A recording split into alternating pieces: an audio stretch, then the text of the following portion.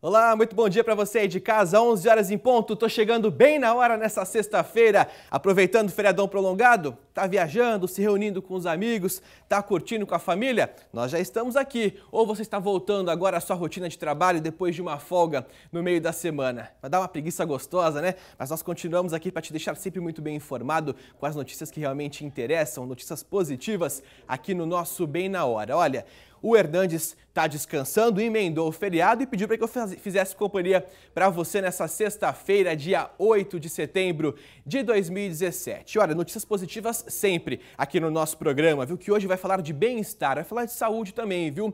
Gente, nós preocupamos muito, muito mesmo com a sua saúde, por isso a gente leva informação do bem para você. E o assunto de hoje é a obesidade mórbida. Você sabe o que é isso? O que isso significa no seu dia a dia? Tem muita gente que começa a engordar, chega num ponto já que é considerado obesidade mórbida. No programa de hoje nós vamos falar sobre isso e é um caso muito importante você acompanhar quem está tá ganhando peso ou quem tem dificuldade de perder peso. Teremos uma profissional aqui ao vivo para trazer as informações para você você aí de casa. Bom, já vamos começar com as notícias que vem aí do nosso Brasil do Bem. Sempre tem histórias que realmente acabam emocionando muito e essa, infelizmente, é uma história muito difícil, mas que muitas pessoas que estão em casa acabam enfrentando constantemente. É a luta contra a balança, viu? Que é uma dificuldade que muita gente enfrenta, só que para ter uma ideia, né, nos últimos 10 anos aí, pessoal, o número de obesos no Brasil aumentou 60%, viu? Vou mostrar agora o drama de um jovem de 22 anos que pesa mais de 250 quilos. Olha só, gente, os amigos fizeram campanha na internet para que a história dele, inclusive, atraísse a imprensa. Nossa equipe foi acompanhar de perto essa história do Brasil do bem.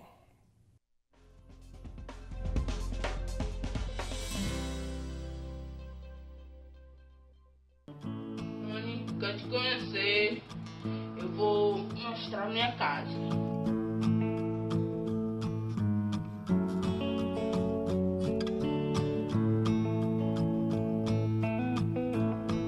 Meu banheiro, aí afundou. Recebemos esse vídeo e ficamos impressionados. Por isso, hoje estamos em Maracanaú para conhecer um pouco mais da história de Guilherme, de 22 anos, que já pesa quase quantos quilos, mãe? 250 quilos ou mais, porque eu não sei o peso atualmente, porque a gente levou no posto, o posto não tem a balança é, adequada para pesar o Guilherme. A balança que tem lá sai de 150 quilos. Guilherme, você faz o que durante o dia? Tomo um banho todo dia, também, tomar café todo dia. Mas não sai? Eu saio às vezes, às vezes. É difícil caminhar? É difícil caminhar, andar, cansa muito, muito, cansa muito. E no seu vídeo você mostra que até o banheiro fica quebrado porque não aguenta de tanto peso. É verdade. O Guilherme tem Pladeuíli uma síndrome que nasce 2 milhões de crianças para nascer uma criança que nem um, tipo do Guilherme. Ele tem um metabolismo muito lento e esse problema dele, dessa obesidade, que a gente achava que era normal, mas só que cada dia que passa o Guilherme está engordando mais, cada dia que passa ele está ficando mais difícil para ele andar, ele não tem como ele andar, ele quebrou um pé, ele não faz nada só, tudo é sem ser comigo. Eu banho ele, lavo ele, passo pomada, gasto muito creme com ele, pomada e tudo, né? Ele já quebrou cadeira, já quebrou sofá, já quebrou armário, que ele cai em cima, né? E a, a gente morava numa casa, ele, a, o aparelho quebrou com ele, quase que ele se cortou-se. Então a gente veio morar nessa casa porque essa casa é maior, tem um espaço bem maior para ele. O sonho dele e da gente, da família, é dele emagrecer, dele ter um tratamento para emagrecer, porque eu não aguento mais. Meu sonho é emagrecer andar de bicicleta e correr, sair com a minha mãe, jogar de bola.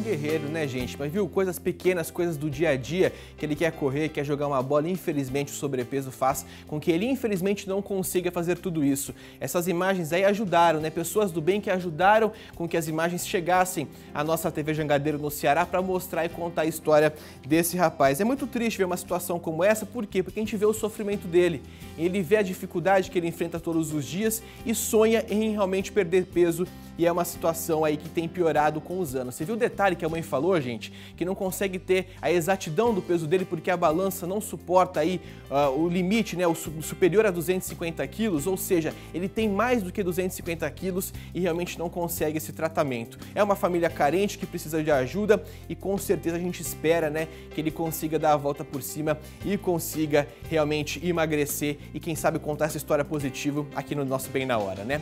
E olha, a gente convidou aqui para o nosso estúdio a Daiane Ribeiro, que é nutricionista. Chega mais, doutora. Bom dia para você, seja bem-vindo ao nosso programa. Tudo bem? Doutora, a gente viu o caso aí do nosso entrevistado na reportagem, a questão do sobrepeso, o caso dele é uma obesidade mórbida já.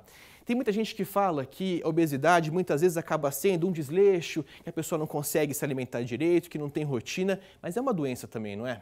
Com certeza. E é uma doença grave, né? Que no Brasil cada dia está maior né, o número de pessoas obesas. Existe tratamento para a obesidade? Com certeza, né? Tem que ser tratado como uma doença, realmente. Tá certo. Daqui a pouquinho a gente vai falar muito sobre esse assunto aqui no nosso programa de hoje. Olha, gente, a Viviane Santos, nossa repórter hoje, está lá no calçadão de Araçatuba. Ela foi acompanhar de perto ali as perguntas, as dúvidas de alguns telespectadores que querem saber um pouco mais aí sobre como emagrecer de forma saudável. Não é mesmo, Vivi? Bom dia, bom falar com você. Bom dia, Casagrande, bom dia a todos. É, perder peso é um assunto que gera muita curiosidade. Afinal de contas, quem não quer ficar de bem com a balança, não é mesmo, Casagrande? Pois é, olha, nós, nós fomos conhecer duas pessoas que com muito foco, muita determinação, estão conseguindo emagrecer. Vamos conferir. Atividade física não fazia parte da vida do Oscar até pouco tempo, mas a vontade de emagrecer e melhorar a saúde fez o jovem de 30 anos de idade se movimentar. Eu comecei na academia, levantava peso, fazia exercícios funcionais, fazia esteira, bicicleta, e aí, aí o meu treinador falou: ah, vamos correr. Aí comecei a correr na rua e estou aqui desde então. Foram quantos quilos perdidos? Foram 43 até agora. Saí de 146, hoje estou com 103, quase perto da minha meta, bem perto. Araçatuba amanheceu numa temperatura fresquinha hoje, apesar desse sol gostoso. Eu estou até de blusa de frio, mas para esse pessoal aqui não tem tempo ruim não.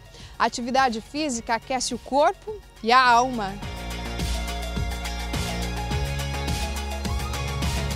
Aliada à atividade física, o Oscar adotou uma alimentação mais saudável. O que você mudou na alimentação, Oscar? Ah, mudei muita coisa. Eu deixei de comer muita fritura, refrigerante, deixei essas coisas para coisas para ocasiões bem específicas, bem diferentes, né, para dias muito especiais.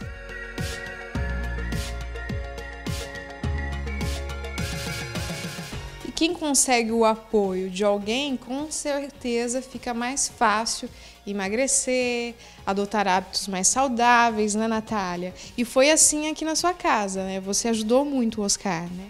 Sim, ajudei muito preparando os alimentos que ele segue, né, a dieta dele, as porções, porque tem que ter, ser tudo certinho, porque é, precisa criar esse novo hábito, precisa de alguém apoiando. E eu comecei também a fazer junto, então eu fazia um alimento só para nós dois. Desembalar menos e descascar mais. Será esse o segredo para uma vida mais saudável?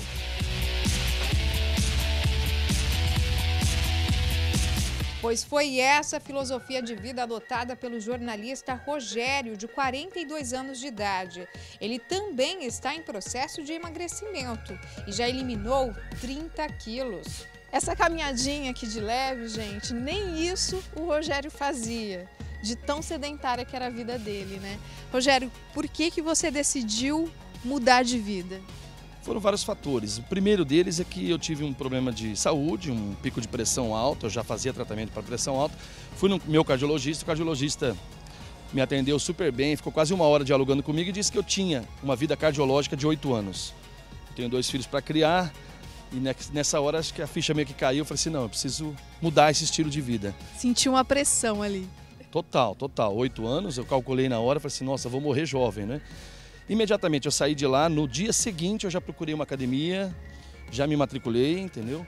E já iniciei um processo já de buscar um equilíbrio, tanto é, na parte é, de alimentação, quanto também no sedentarismo. O médico, que havia dado apenas oito anos de vida, com certeza terá perspectivas mais positivas daqui para frente em relação à vida do Rogério.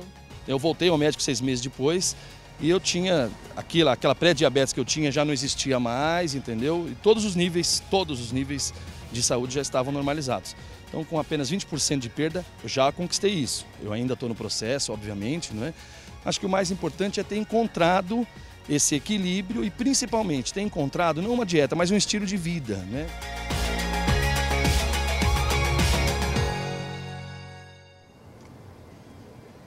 Para todos nós, inclusive para esse que está falando para você, o Casagrande, eu guardei 30 quilos nos últimos seis anos. Estou até compartilhando isso com você que está em casa, porque é uma situação muito difícil.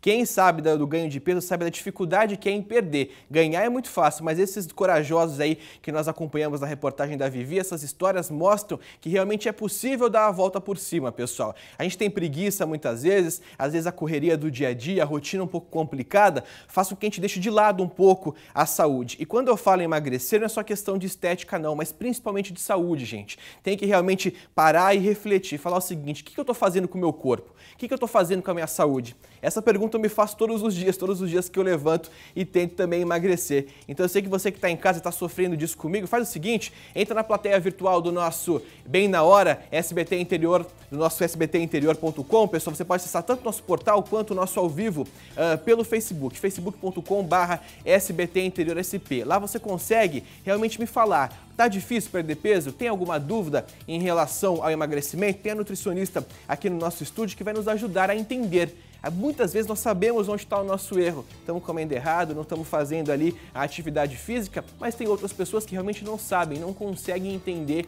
como começar, como dar ó, o primeiro passo. O primeiro passo para o emagrecimento, o primeiro passo para a mudança de vida, para a mudança de comportamento, e isso é muito importante, isso é fundamental. Doutora, chega mais aqui de novo. Vamos começar com as perguntas agora. Telespectadores nossos que estão lá no calçadão com a Vivi. Já tem gente com você, Vivi? Já, Marcelo, já tem gente aqui comigo. É a Alessandra que está aqui comigo. E olha só, a história dela é muito interessante porque ela tem uma história de superação também. Perdeu peso, é isso? É, eu perdi 11 quilos porque eu tive uma complicação na saúde, gordura no pâncreas e no fígado.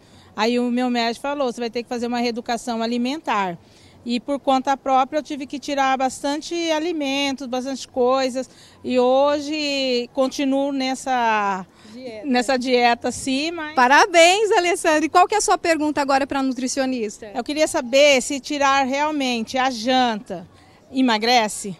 É isso que eu queria saber, porque muitas vezes eu tiro minha janta. Muito bem. É isso aí, Marcelo. Vamos saber então, doutora, está certo ou está errado em tirar uma refeição? O interessante seria controlar essa quantidade que ela consome. O problema não é o jantar, né? O problema é a quantidade do dia todo do consumo, uhum. né? Então pode ser que até às 6 horas da tarde ela já consumiu o ideal e o jantar vai ser um, um acréscimo, então irá atrapalhar. Então o que ela deve fazer? Fracionar as refeições e não abrir mão do jantar. Tem aquela, aquela velha máxima que muita gente fala, doutor, em relação à alimentação de 3 em 3 horas. Tem alguns nutricionistas que defendem, outros é, que falam que essa não é uma verdade. O que, que você pensa sobre? Qual a sua opinião sobre o assunto? Eu acho super interessante o fracionamento, até mesmo para o controle do apetite, né, em relação até liberações hormonais que nós temos durante todo o dia, né? Então, deixar a pessoa satisfeita vai ser mais, bem mais tranquilo para ela seguir uma reeducação alimentar. Tem muita gente que fala, tô até perguntando aqui, a Tamara Dayana, ela não fala de qual cidade que ela, está na nossa plateia virtual. É, é claro que é, tem muita gente que às vezes fala o seguinte: não vou fazer uma reeducação alimentar, não vou fazer atividade física, vou correr para a bariátrica. É um perigo também, não é assim, né? Não é tudo tão fácil como se imagina, né? É, com certeza. Esse ganho de peso está muito relacionado também com o fator psicológico, né? Não vou resolver o problema só com a cirurgia. Né? Então, essa mudança do hábito e a permanência na, da qualidade de vida, de uma alimentação saudável, que vai fazer a diferença, né? Porque ela precisa permanecer nessa qualidade. Tá certo, vamos voltar lá para o centro. Vivi Santos já está com mais uma, uma telespectadora com pergunta. Vivi.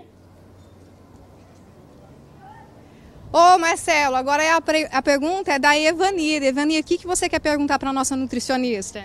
Eu gostaria de saber o que a gente pode, que alimento a gente pode comer para emagrecer. Tem alguma uma dieta? É claro que não tem receita, é personalizado para cada, um, para cada tipo de pessoa, cada tipo de paciente. Mas tem alguns alimentos que são assim, que acabam ajudando nesse processo, nesse processo que dão saciedade, por exemplo, são saudáveis? Sim, aumentar o consumo de fibras, né? Algumas pessoas conseguem trocar o alimento refinado, o arroz integral, pelo o arroz branco pelo integral, né? Acrescentar saladas, legumes, as frutas. Conforme você aumenta a quantidade de fibras no seu dia, você vai ficar mais saciado, além de melhorar a qualidade do intestino, toda a, a parte é, mais saudável, né, da rotina. Só uma última pergunta antes da gente fazer uma pausa rapidinho.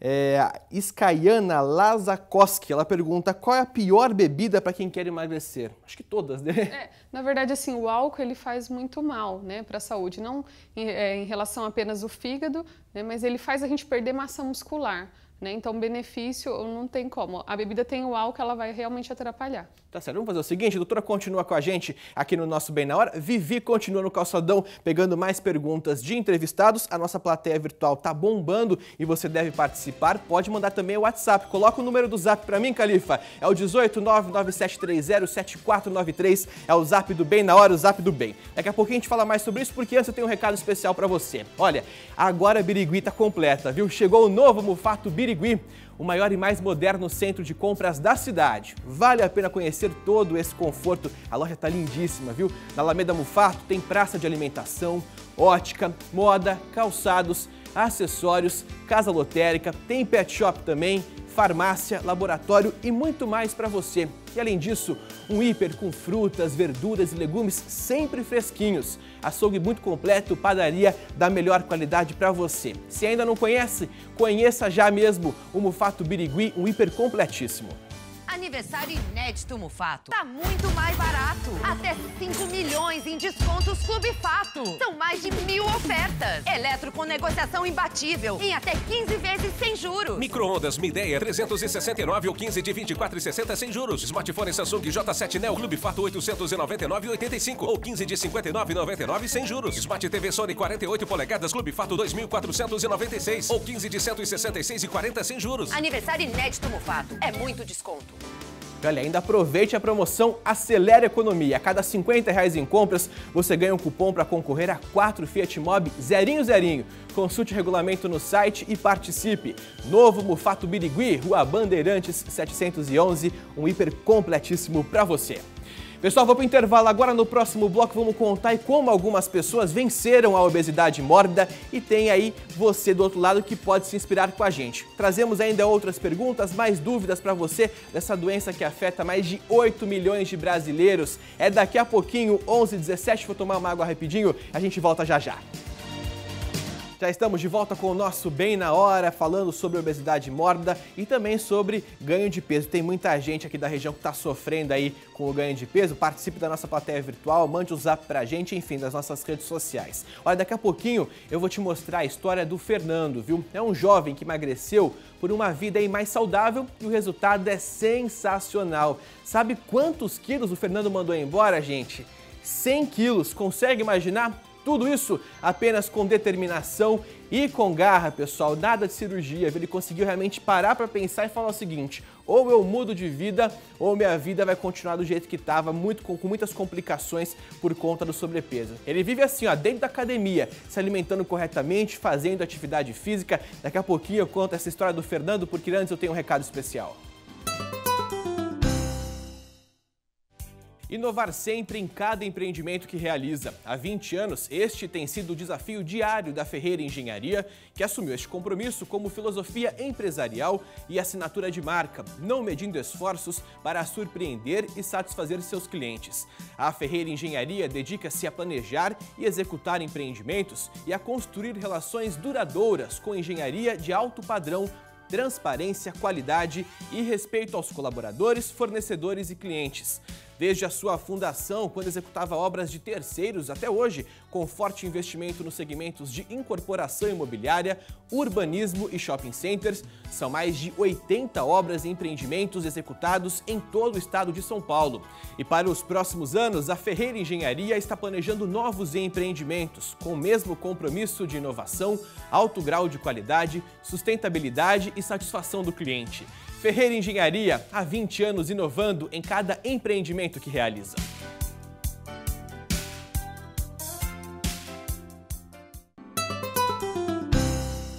E olha, depois desse recado, a gente viu no primeiro bloco né, que o Oscar e o Rogério, que sofriam com obesidade, hoje travam uma luta contra a balança os resultados já começaram a aparecer, vários quilos foram eliminados. Só que tem gente que já alcançou bem mais do que esperava, né? É o Fernando que eu te contei agora há pouco um pouquinho da história dele. Ele emagreceu bastante, emagreceu 100 quilos. Consegue imaginar? É muita coisa, né? Tudo por uma vida mais saudável. Vamos dar uma olhada. É difícil de acreditar, gente, mas esta camiseta aqui era usada pelo Fernando. Ele perdeu 122 quilos, hoje pesa 90, praticamente perdeu um Fernando inteiro e mais um pouco, é isso? perdi mais que o dobro que eu pesava, na verdade. Perdi mais da metade, aliás. E como que surgiu essa iniciativa sua? É, o que aconteceu na época, eu, eu era muito obeso, acabei perdendo a minha mãe por um motivo de saúde e que me fez começar a querer cuidar melhor da minha saúde, só que ainda não estava naquela garra toda. Quando eu tive um problema de circulação na perna, problema de erisipela, e procurei o médico vascular, ele disse, ó, seu problema vai, a gente vai tratar, ele vai melhorar, mas ele pode futuramente desenvolver uma trombose, que eu poderia perder a perna. A academia virou a segunda casa, mas no começo não foi fácil. Encontrar roupas para comprar era praticamente impossível. Além dos problemas de saúde, a obesidade também trazia vergonha e baixa autoestima. Inclusive na empresa onde eu trabalho até hoje, uma coisa que me incomodava muito era eu não conseguir passar na catraca da empresa, né? que você pica cartão e passa para a catraca. Eu tinha que picar o cartão e passar com um portãozinho do lado. Isso era uma coisa que me chateava demais. E fora que eu não andava, eu com aquele peso todo eu me arrastava. Se eu andasse dois, três quarteirões, parecia que eu ia ter um. ia passar mal, era horrível. Na casa dele, uma alimentação regrada e sem guloseimas, pelo menos durante a semana. Manter a disciplina foi ficando fácil com o passar do tempo. Só fechei a boca no começo. Começaram a aparecer resultados, mas tive que associar uma atividade física para obter resultados mais rápidos. Para quem ainda precisa de um empurrãozinho para buscar uma vida mais saudável, segue a dica de quem tem autoridade no assunto. Às vezes a gente acha que é um sacrifício, que nossa, eu vou ter que fazer isso, vou ter que fazer aquilo. Vou ter que, na verdade, para você começar, você tem que dar o primeiro passo. A hora que começa a ter os resultados, você anima, você se sente melhor. A hora que você troca uma roupa que era enorme por uma menor, você se sente muito bem. Então, não faça pela estética, a estética é uma consequência de tudo isso, né? Faça por você, faça pela sua saúde, que só tem a ganhar com isso.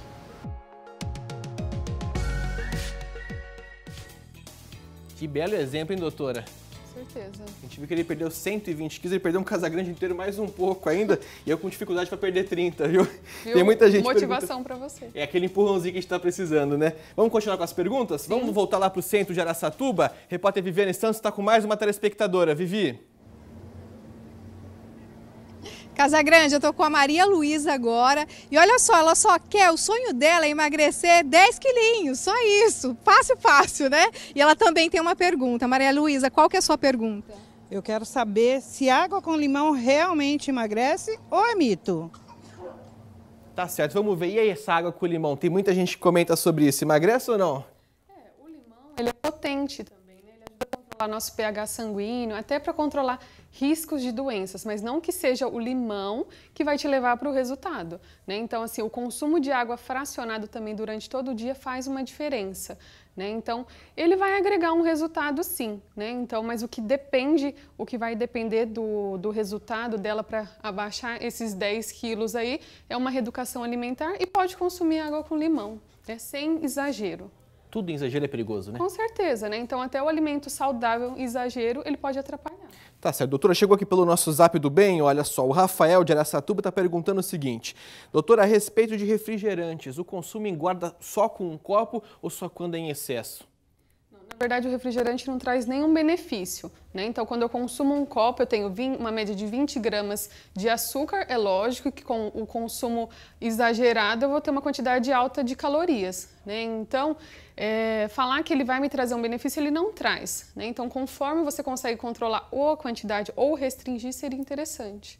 Tem mais pergunta aqui na nossa plateia virtual. Olha só, a Tatiana Silva quer saber o seguinte, né? Ela tinha 52 quilos, agora está com, 50, com 65, ou seja, engordou 13 quilos. Já é caso de obesidade. Na verdade, ela não falou altura, tem relação com a altura também, né? Sim, é. Para saber se é obesidade, é interessante observar a altura e o peso. Né? Então, mas pode ser que ela precisa reduzir o percentual de gordura, né? Então, assim, tem que observar bem a qualidade do peso, né? Então, às vezes a pessoa precisa perder 10 quilos, né? Então, interessante é ser acompanhado por um profissional e fazer uma avaliação física, né? Pra, e associar com um exercício físico essa perda, né? O diretor estava me perguntando aqui, o Fabiano, falando o seguinte, doutora, que ele estava tentando ver a questão do jejum intermitente, que é outro assunto da moda, né? Uhum. Qual é a sua opinião sobre isso?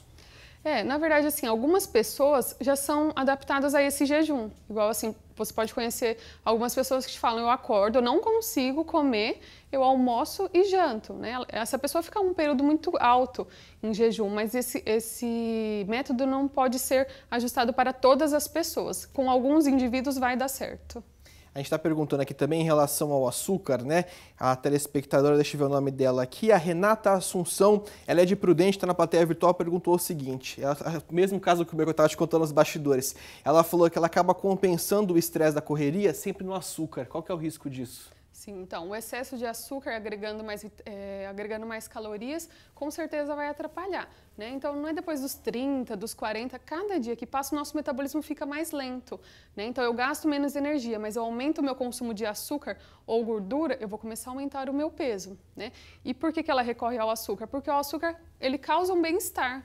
Né? Então, assim, às vezes é a fuga, né? Então, eu estou nervosa, eu vou comer o eu vou consumir um doce, né? Então, está relacionado muito com o fator psicológico também, o excesso. Não que você não possa consumir, mas é interessante equilibrar. Tá certo. Doutora, muito obrigado, viu, pela sua participação. Obrigada Obrigado e volte mais vezes aqui no nosso programa, que muita gente ficou perguntando, não tem tempo para tudo isso, mas com certeza a doutora voltará em outras oportunidades para falar um pouco mais sobre isso. Até a próxima. Obrigada. E olha, gente, Bem na hora, tá chegando ao fim, passou que passou rápido que a gente nem percebeu, né? Quero agradecer demais a sua companhia. Na sequência, eu tomo uma água e volto com as notícias de toda a nossa região no SBT Interior, primeira edição. Eu faço questão da sua companhia. A gente se vê daqui a pouquinho. Até já. Que o segundo vale ouro não vai desperdiçar. Pense bem, quanto tempo você tem, quanto tempo você tem.